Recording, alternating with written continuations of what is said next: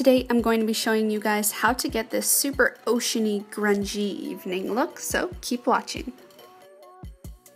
So my foundation is already done and if you guys are curious about my first impression opinion on that then definitely check out one of the previous videos. I'll have it linked in the cards in this video so you can click and check it out if you're wondering how I first felt about this foundation since that's kind of what I just filmed. But I'm going to go ahead and set my foundation now with powder and here I'm taking Kanebo um, Media Translucent Powder, which is a Japanese brand. This one does lighten the skin a little bit because it has a high SPF in it. It's like a daily setting powder for SPF coverage. I would not recommend it if you're going to be going to a situation that has photography or like a night event or anything like that, just because it's gonna have a huge flashback on you. But I'm just gonna go ahead and pick that up with this Eco Tools powder brush and I'm just gonna kind of bake under my eyes with that. just pressing it on. I'm just gonna bake like everywhere that I tend to get oily. Like it just like, if you're having any problems with like skin texture or if your foundation is just not really cutting it, this just makes your skin look baby smooth. That's one thing I always notice Japan does really good for is face powders. They slay it with face powders and mascaras and eyeliners. Just going to kind of smudge the excess on lower under eye area. I don't like putting too much powder right on my under eye because I have permanent like fine lines and wrinkles there just because of my eye shape.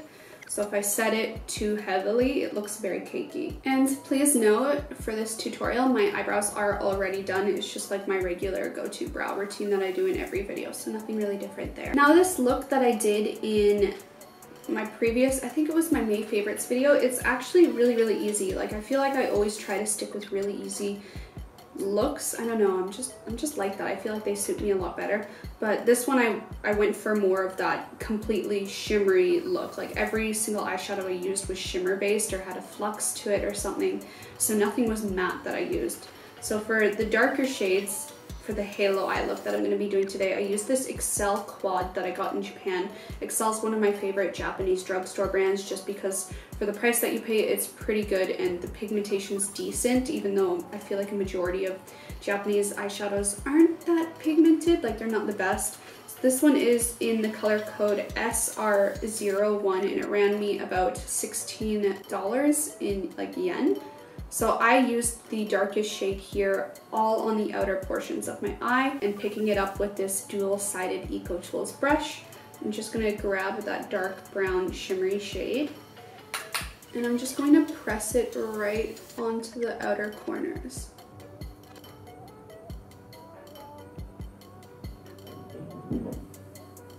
And doing the same and dragging it down onto the lower lash line. And then inner corner.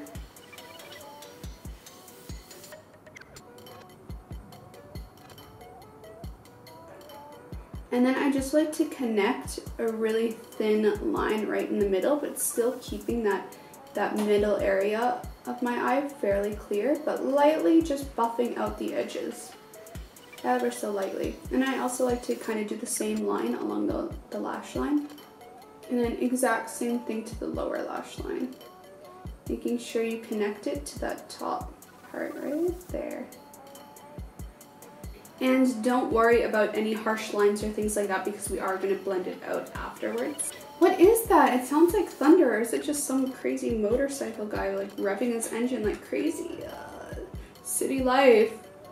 No idea. City life plus Melbourne weather. So for the center color is what we're gonna do now and I'm gonna be using these Sigma Loose Shimmers and the one I'm taking today is in Pageantry. I don't ever really use this one but it's kind of this teal blue shade and unfortunately I'm not too sure if they still continue to sell these pigments but if you can find anything of a similar shade it will do as well. And it's just this, oh my god, I'm trying to try not to spill it but show you. There's just this really pretty a muted uh, teal, like dark teal shade. And I'm just gonna use that on the center part of the halo eye. So I'm just gonna be picking it up with this really densely packed short shadow brush. And then I'm just going to press it right into the middle. And just kind of slowly blend it around Now this look really isn't like a super clean look. As you can see, it's just this really kind of, a really like messy halo eye, but kind of the look I wanted to go for, like kind of this grungy, like sea look. Like good for like a summer night out, I feel like, if you want that kind of grungy style of halo eye. And then just going in and re-pulling that brown shade in towards it so it's not too blotched together, like it just kind of like fades into each other. Okay, so next I'm just gonna go in and blend, and like I said before, this look is a really messy, kind of grungy, glittery look. I don't know, really. I'm just gonna take the kind of medium warm brown glitter shade. I'm picking that up with the blending side of the Eco Tools brush. I'm just gonna very lightly buff out the brown shade.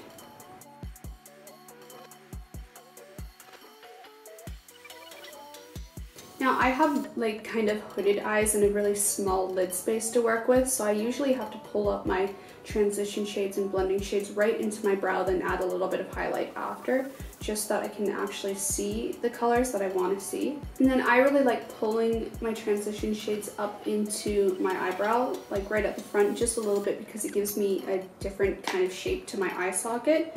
Then going in and taking this really small pencil brush, I'm taking that same shimmery gold warm color. I'm just gonna lightly blend it and connect it to that outer corner and right under everything.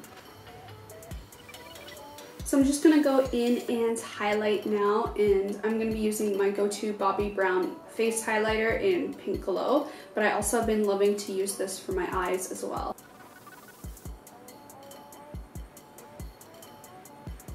And taking the same color and putting a little bit right on that inner corner area.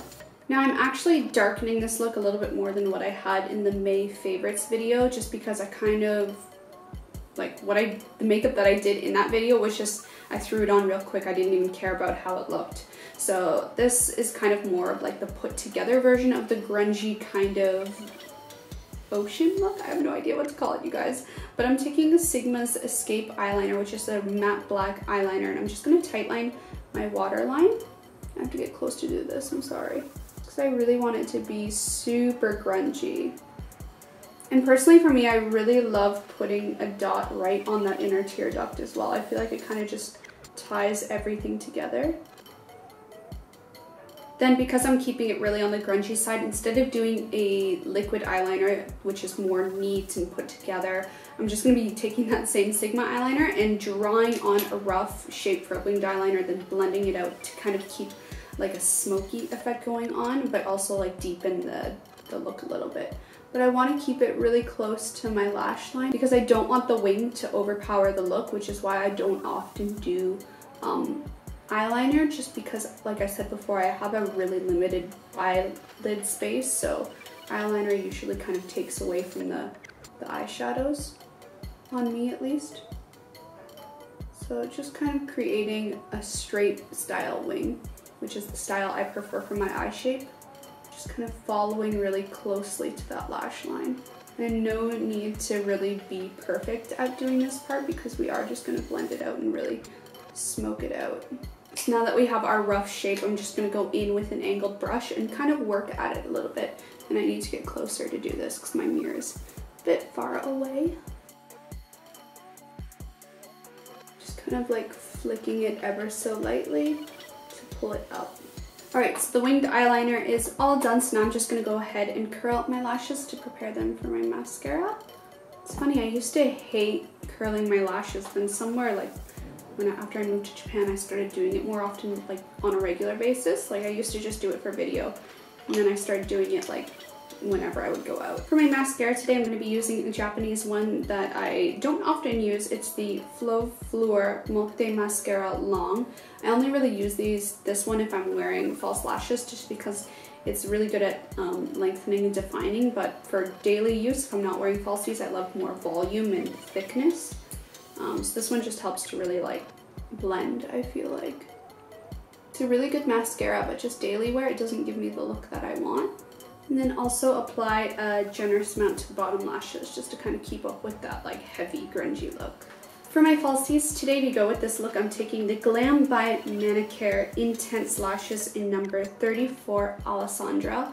Ones are like, they're like triple layered lashes and they're really fluffy looking. They're just so pretty. They really suit the kind of like grungy heavy look that the eyes have today.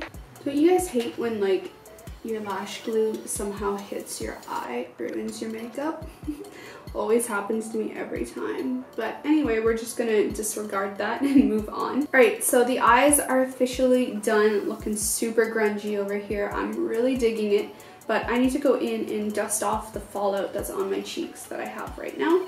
So just taking my brush from before, I'm just gonna like dust away right under my eyes. And because I had that baking powder on before, just sitting there, it's making it a lot easier to just like wipe away everything. And now that all of that is done, I'm gonna go ahead and finish the rest of my face makeup because I haven't done that yet. So I'm gonna be going into my NYX contouring kit. And I'm gonna be taking this shade right here just because it has a little more of a yellowy undertone.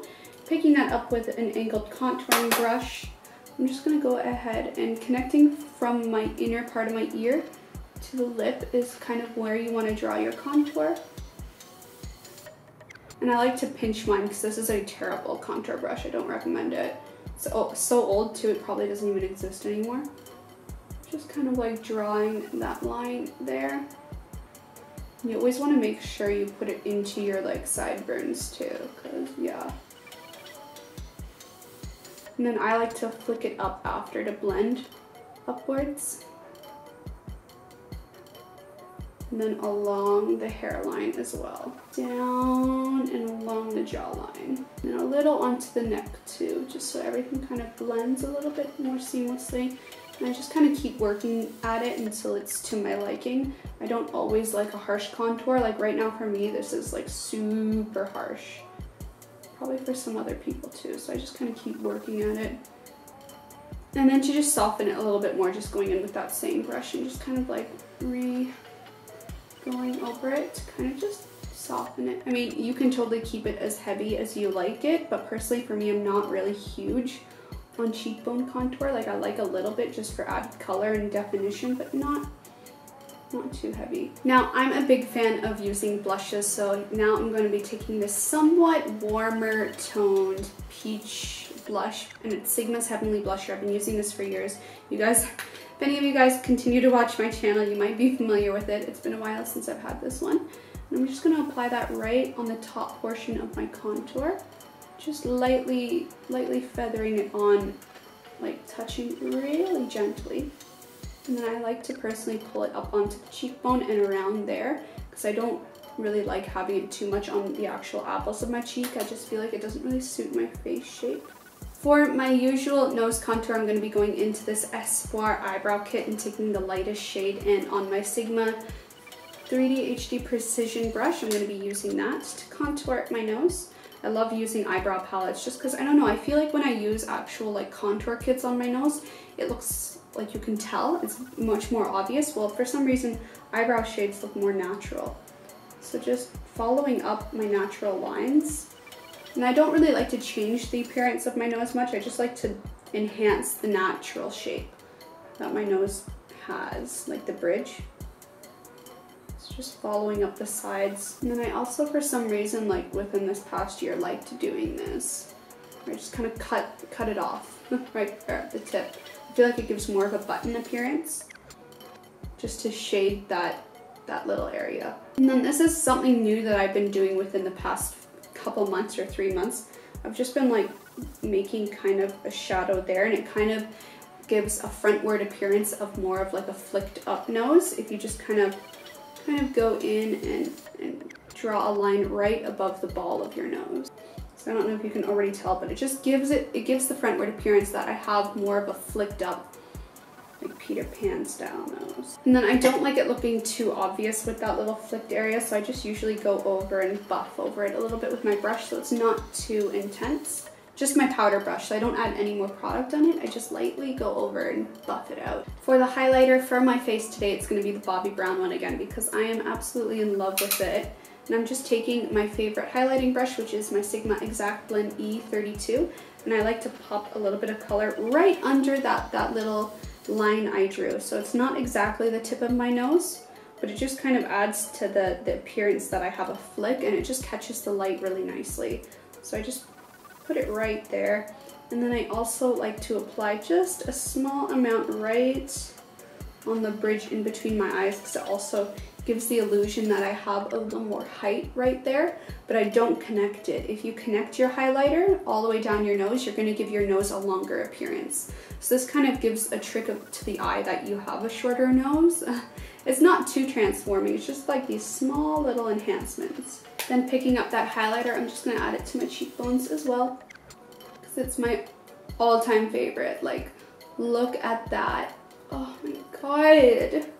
It's honestly, you guys, the most beautiful highlighter I have ever used in my life.